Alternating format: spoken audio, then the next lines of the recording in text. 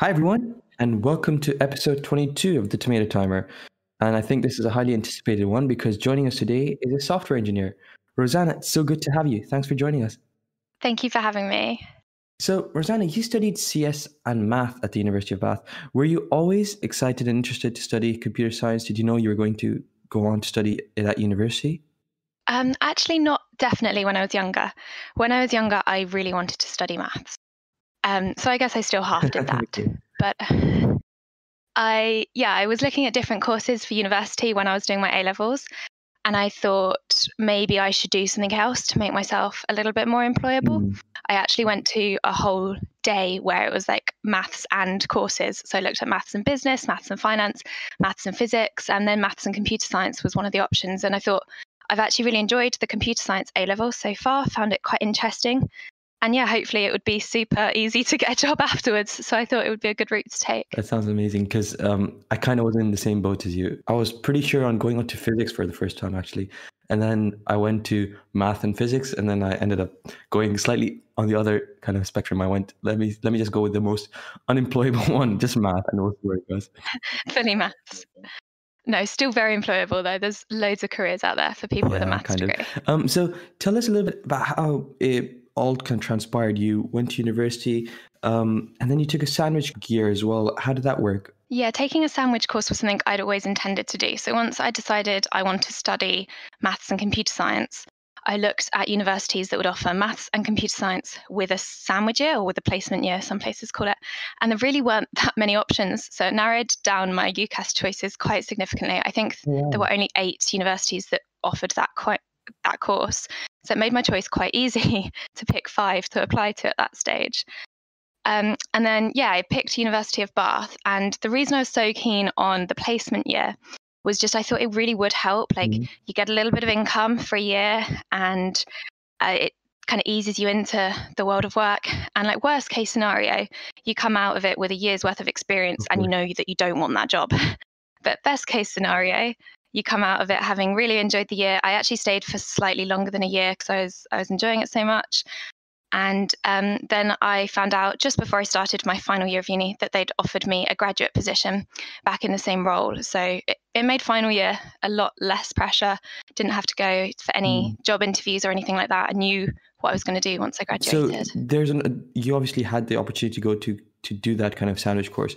What about students who don't um, have that? What if what there's this concept of spring week as well, right? Yeah, absolutely. Like I said, I was lucky I picked one of these degree courses that offered it from the start. But a lot of universities don't necessarily put the help in to help you find a job or, or don't want you leaving for a whole year. Mhm. So you've got the option to do like a summer internship, which works well after maybe your second or third year if you're doing a, a four year course. Um, otherwise, at the end of like or midway through first year, there's often uh, spring weeks. So namely because they're in April, springtime, and that would be a week or two of an internship. Sometimes these ones would be unpaid, I think. Um, but then if it is only a week, obviously that's not as bad uh, as to trying to do a whole summer internship Mm. unpaid. Normally, summer internships or, or a 12 month one should be paid, I think. Okay, yeah, and I think um, well, it's sometimes the value in the experience does come through, especially when you're working for a, big industry or, or or for a big company, and then you can use that experience to then build on and apply to other jobs and stuff later on. Definitely. I think um, in order to kind of get onto a graduate scheme, a lot of places would be looking at who's already done work experience, which is ridiculous when it's your first job out of university, really. Mm. But if you have got an internship um, or some work experience under your belt already, then then that's a really good thing to kind of get your foot in the door. Um, what does your current role entail? What do you do, and how did that transform from the what you were doing in your sandwich course and the first kind of graduate job you got? So I think I've learned a lot more to do with computer science on the job rather than at university. I think it's such a wide field, which is probably true for most science fields. But you can't really cover it all in three or four years at university. And even if you can, it's so theoretical and you, it's hard to piece it all together until Mm. you're sitting down at a desk being paid to actually produce something. Yeah. So I work in financial technology, um, and I used to work in a big bank uh, in in the city. And um, so the side of programming and software engineering that I've been looking at is always I've, I would call it front office in terms of finance. So if Mm-hmm. anyone is interested in kind of trading, the software I've been producing is, is for traders, people who are technically making the money, hopefully.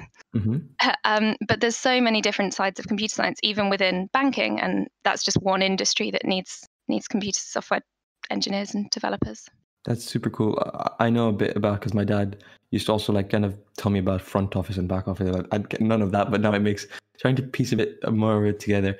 So you're saying that it was kind of you learned a lot more computer science on the job. What do you mean by that? Do you mean like the the languages or specific skills that within kind of I don't know? Could you kind of elaborate on that? Yeah, definitely. Yeah, a bit of everything really. So because I thought university was quite theoretical, and maybe that came from having half of my course being a maths degree still. Mm. And when I sat down to work in my first in my graduate, uh, well, actually no, in my placement year, um, I was expected to write code for a whole huge system, and seeing how that kind of you could kind of see how what you were doing was useful, and I really really appreciated that compared to the coursework that we'd had at university, where 30 of you are writing the exact same code to solve the exact same problem, and it all seems very pointless. Mm. It's really, really cool to see that people are using your code, people really appreciate what you're doing. And it, it is difficult to kind of fit in to, to a team like that. You're not on your own anymore. Uh, you have to not just work around other people's schedules, like getting used to office hours or anything, um, but also getting used to other people's styling because coding is so creative Mm. and there's so many different ways to solve any particular problem. And in a big corporate industry there'll be conventions to follow and it it's just things to get used to. Um, so I, I learned a lot on the job about uh, how to write and how to test specifically uh, for other people's code and for other people to be, then be using my code. So long after i left that code is still going to be used. It was it was nice returning on the graduate scheme to realize that the code I'd written only like a year or so ago Mm. on the placement was was still there and still being used. So that was a good feeling. Yeah, and and that's a very interesting uh, topic I'd like to learn more about as well because when we're imagining programmers and, and coders or whatever, we we think of like someone sitting alone in a room in a dark room and just a black screen and just typing away at it. Um, but it's not usually like that. Could you tell us a little bit about like that teamwork atmosphere and what it means to be coding and programming something quite big together as a as a group? Yeah, you're right. It is completely different. Um, there's not to say that there's something wrong with coding at home on your own. Like it's a great place to start and to learn and practice. Yeah. But uh, working in industry in a team, it's so much more collaborative. Um, like everyone's piecing different pieces of the puzzle together. You can't be expected to do something all on your own. That it just wouldn't be practical. Uh, when you think of the scale of the solutions that we're trying to build and design and, and like deliver to clients in the end, um, it, it wouldn't be sensible to say, yeah, one person's going to go off and do that bit, and then we'll see them again in six months with a fully working solution. Hmm, yeah. Because it is so creative. There are so many different ways you could do it, and you want to be talking to each other.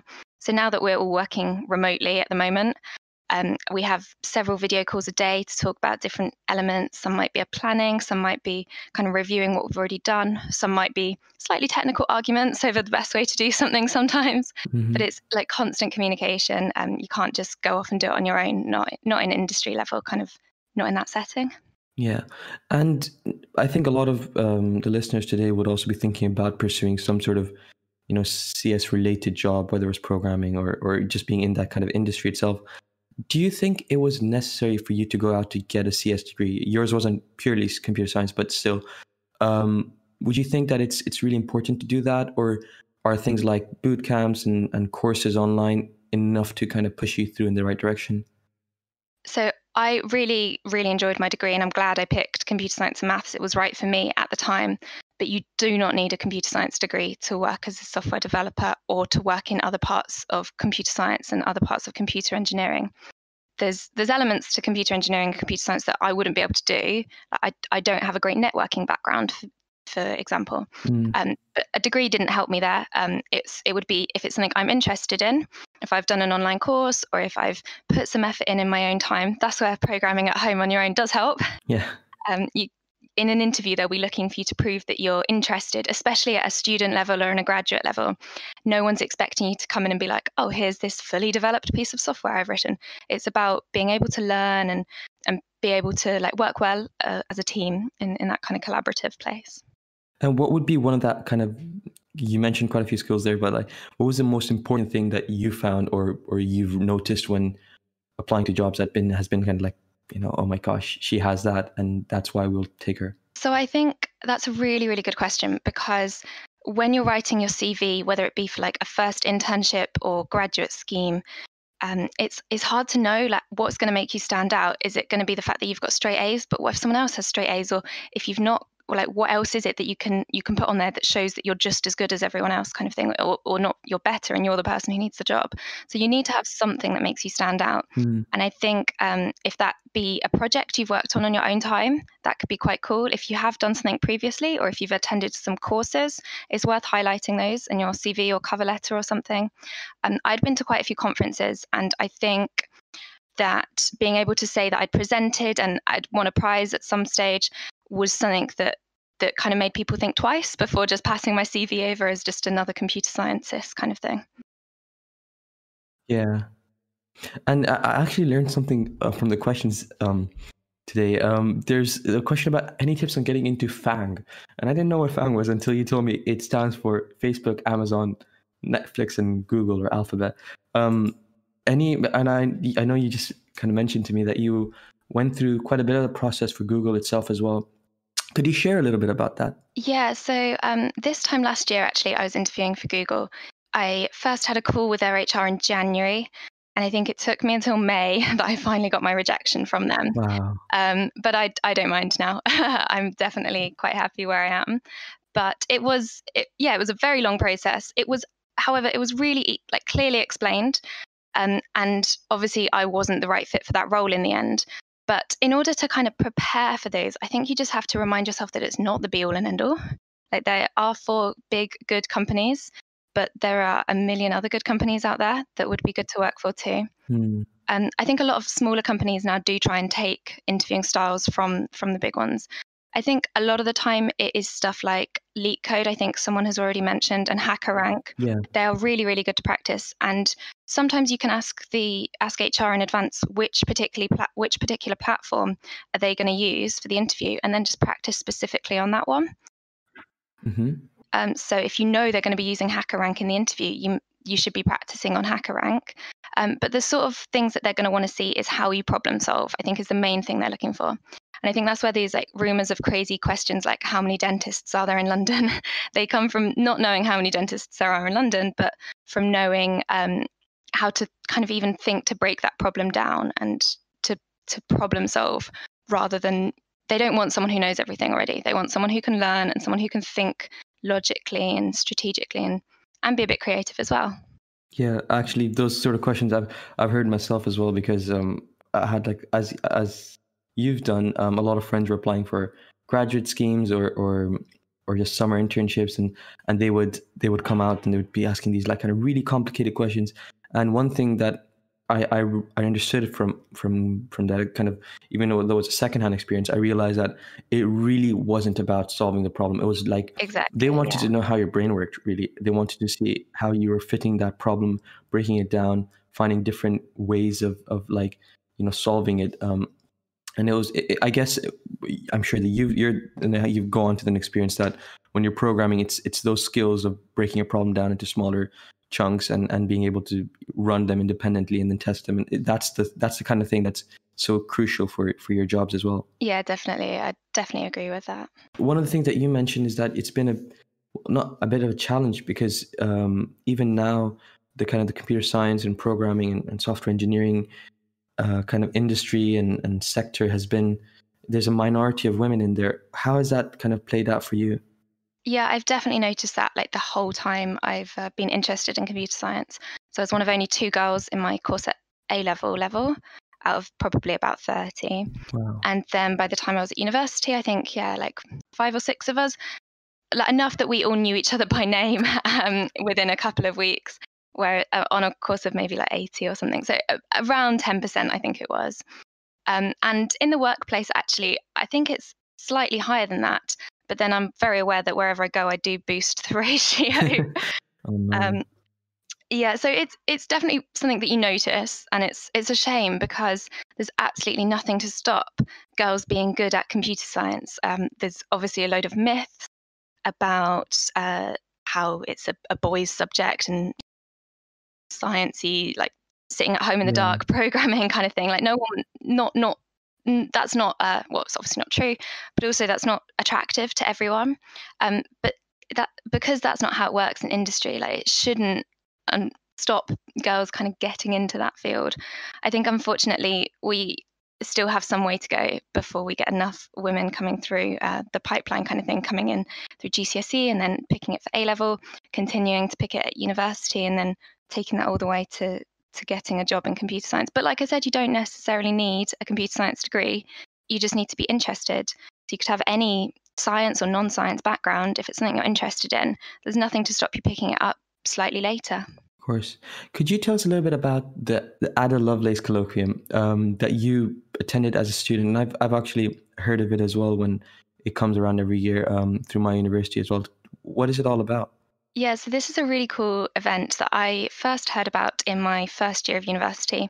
We had a really cool uh, lecturer who was advertising it to all the girls there. It's so it's a colloquium, a one-day event held each year, and then there's kind of keynote speeches, socializing, a chance to network with some employers, and um, it, there's loads of events like this, but I particularly enjoyed this one and, and wanted to highlight it because it is aimed at girls.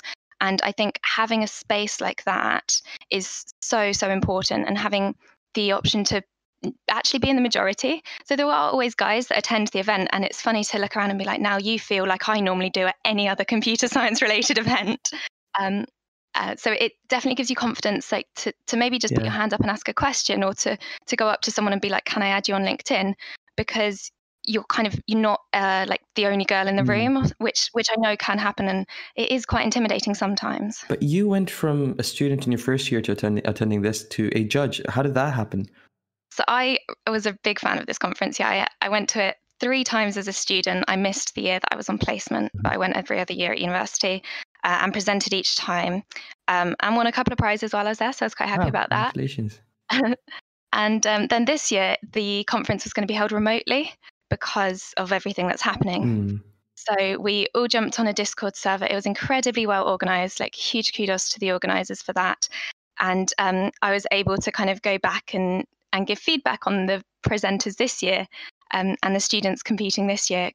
And uh, hopefully, I was able to bring my experience of, of presenting a couple of years back now uh, to the other side of it and to to remember what it felt like to be presenting, but also still be able to to judge and give feedback. Mm, that sounds so cool, and I think we need to learn a few things from that Discord server as well. Uh, of our own, um, and then you've also like um, alongside kind of all your your your current role attending these conferences, you've also been a volunteer for STEM, of course. You're you're here with us right now, but also Code First for Girls. How has it been? How has that voluntary experience been for you? Like, I've um I've really enjoyed teaching. Um, it's not something I do for work, but I I like being able to help other people. Um, so it started. I know like a lot of people on this server here, in in this group, uh, often give advice and revision notes to each other, and that's a really really good initiative. So it kind of started. I was doing like A level tutoring when I was in my upper sixth for some people in lower sixth. And um, then I've seen since graduating, and there's loads of other companies out there that do do something similar. So Code First Girls is an initiative for any girls, usually at university, who do not study computer science but want a little bit of an introduction. And they've got a load of different courses. They've got some web development. I actually teach on the Python for Beginners course. Mm-hmm. And um, it's really, really rewarding to see in eight weeks someone going from never have written a line of Python in their life to presenting a really well written and really thought, well thought out project. And then being able to say, I've just done an eight week course. Imagine what I could do if I did another few weeks of self study and then all of a sudden they've decided that, yeah, computer science is for them. so I think initiatives like this are really, really cool and really helpful to get more people interested in computer science because it is a very new field. If we think about it, it wasn't wasn't around like hundred years ago or something like that. Even like 50 years ago. Yeah. This was very, very recent. That's a really important point, and I think we've highlighted a couple of times now, but th- there is a potential for us to enter this kind of wor- world of computer science and programming without having to study that degree at university or even know a lot of programming beforehand? Yeah, definitely. So I really wasn't doing that much programming at university. We had a couple of modules where you do one piece of coursework in in lots of different in each different language kind of thing. But I was not someone who was sitting at home coding on my laptop after hours. It just wasn't something I was hugely interested in. And actually, when I filled out the form to decide what job I should have, I put down I didn't want to be a programmer. Um, and then four years later, here I am. It's my day job and I love it. But um, I think that's because university coding was so different to to real world. It's so much more rewarding to kind of get the results and to to see how you can actually uh, be useful and be help, helping other people by yeah. by writing. And talking code. about the real world, what do you think about the current kind of job market of software development and software engineers? Is it is it something that's growing, and do you think it will continue to grow? Yeah, I I do. Um, obviously, no one can really predict what's going to happen, but it doesn't really seem like an industry that can go away when we are going all so so much for techno- for technology in general. Yeah. So it, it's not just coders and programmers. There's going to be other types of computer engineers and and anyone else with other types of computer software background that that are needed for in these kind of industries. So I think I mentioned networking, but there's loads of lo- like so many other regions to computer science that I'm not in. I can only really speak about programming because that's Mm. what I've ended up doing. Um, but yeah, I, I do think that technology is is still going. It's not it's not slowing down really. Um, especially now that we've learned that a lot of the time we might have to work remotely, Yeah. at least in the in the current times. Um, turns out you can do that. You just need a laptop and an internet connection. So it is a job that you can do fully remotely, um, which always helps as well. So yeah, I think I can't really see it becoming obsolete anytime soon. Okay, it sounds like a plan. sounds like something we should keep working on. Um, so if I was to uh, just for some newbies out there, what would what sort of languages or what sort of courses would you be recommending for us to kind of get started? Yeah, that's a good point. So I use Python uh, all day at work, and I also use Python as a teaching language. It has a lot of scope. Mm-hmm. Um, so it reads very nicely like English, so it's not too crazy to pick up. Like some languages are a bit further away from English, and um, that just means there's like one further step of translation in your head that has to happen as you as you try and write things. So it's useful for that, and it's also good as a teaching language, but also say as a sandboxing language, just to test things out. Um, because you can just get it up and running. It's so so easily. Um, anyone could go download Python from directly from the website, and then you you're up and ready to go straight away. You don't need any. You don't need anything else, a fancy IDE or um, like any. You don't need a, a high spec computer or anything to be able to start writing a couple of lines of code and output something and Yeah, and like yeah, actually see something happening quite quickly, which I think is why it's such an attractive language, especially to beginners. But it turns out because it, it is such a powerful language too, it is used in industry all across loads of different companies. It's not ju- the sort of thing that you need to learn and then move on from. You- Python is a good language regardless. Mm. I do feel like I'm a little bit biased, but because it is, I, don't know if I'm allowed to yeah, have a I- I, favorite. I, have the but same bias I as mean, it well. I Python. started with Python as well, and, and it's been such an easy language to continue working on. I, I think I picked up JavaScript for a while, or Java itself, and this was so. I don't know. I, I shouldn't say ugly, but like it was just like not as fun because you had to sit there defining stuff. I'm like, come on, just I want to get to the actual programming bit. yeah, And Python always lets you, as you just said, it's human readable, but also it's it's so um, quick to get something up and running yeah, it's rewarding that way. and that definitely helped. Exactly, yeah. So, oh my gosh, the time has flown by. Um, I'm so sorry for. There's so many more questions to ask you, but um, what would be like one final piece of advice that you'd give to us based on all those kind of amazing experiences that you've had to date? Um, it's going to sound so cliche, whatever I say, isn't it? I think coding overall is is it's really rewarding once you've got it, and it, I've seen that from from teaching and volunteer teaching. Students' reactions when they finally manage to get something like it's really, really like it feels like quite satisfying to be like, oh, I've been struggling about this and I've Yeah, finally managed it. so definitely keep going but but also like have a look like see what's out there we've mentioned a couple of resources already there's there's loads available online and mostly for free So it really is, it should be really accessible to, to anyone to try and get involved if they want to.